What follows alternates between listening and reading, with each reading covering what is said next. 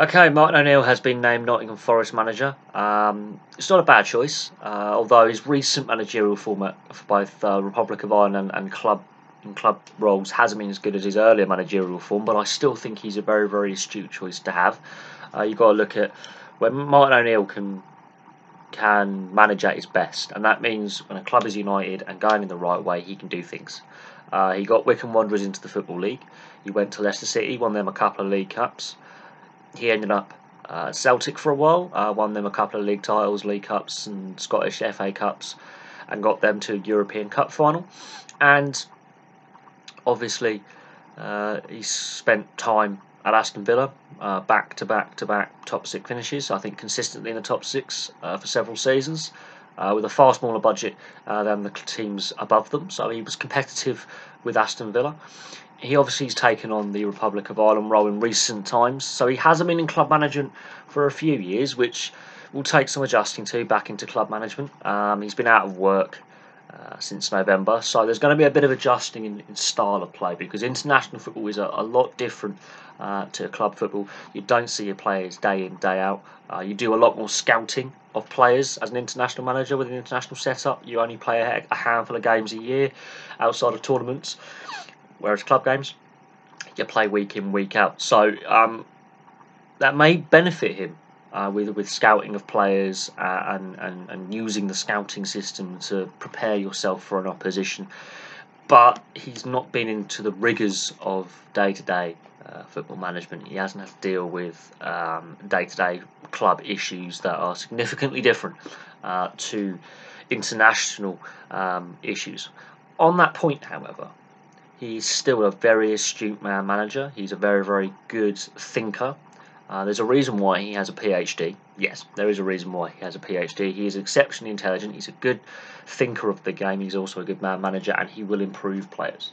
Uh, we've seen this at almost every club he's been at. Players have raised their game and got better. The issue with Nottingham Forest is they've had 11 managerial appointments since 2011, including Martin O'Neill, who's been appointed today.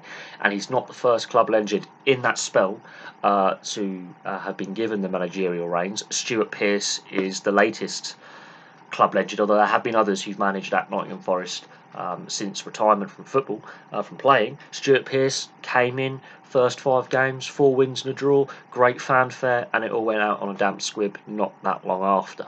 So, Martin O'Neill, yes, I think A, is a better manager than Stuart Pearce, not denying that, and B, he's more experienced than Stuart Pearce.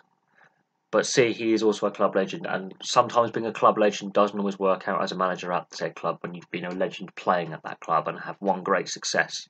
That's something Nottingham Forest fans have to be aware of: is the lack of managerial stability. Will Martin O'Neill uh, be around for a long time? I feel that Martin O'Neill, um, when he's in a club with stability, he does very, very well. When he's at a club which doesn't have that stability, and that includes transfer funds, uh, squad stability, managerial stability, he doesn't do as well. Uh, something else to look out for. Uh, but I think he is the right man because he does understand the club. He's passionate about Nottingham Forest. Um, he was a, a, great servant to the club as a player.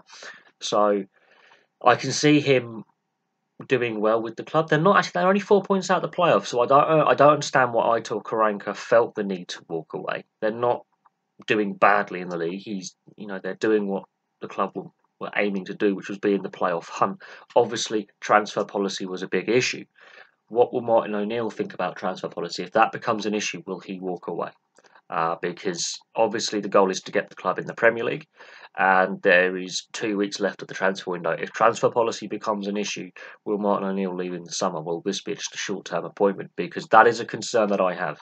If transfer policy is going to be a problem, uh, and how the squad is made up, and how what constitutes the squad, and how many young players, and how many new players, and how many existing players from, from previous managers, if transfer policy and selection becomes an issue like it did for Aitor Karanka, could that make things more difficult for Martin O'Neill as well?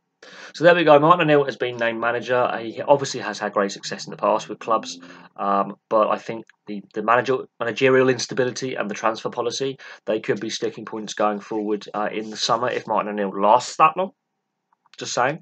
Um, Also, they're midway through the transfer window now, so it's going to be interesting to see if A. Martin O'Neill was given any funds to spend and how much flexibility he's given in this transfer window. So thank you very much for watching. Please like and subscribe, place your comments below, and I'll have some more videos for you soon.